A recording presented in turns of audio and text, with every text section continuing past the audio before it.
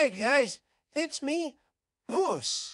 I'm here with my sister Zee and Feet Face. And we have some special news for you. We got a new sister. Come on out, sis. I'm coming Feet Face. Hello everyone. I'm Sarah A. Moose. Nice to meet you. I'm now the sister of my brother Moose and two sisters Zee and Feet Face. I will now be in the Feet Face Gets Grounded series. That was nice to introduce you to everyone, Sarah.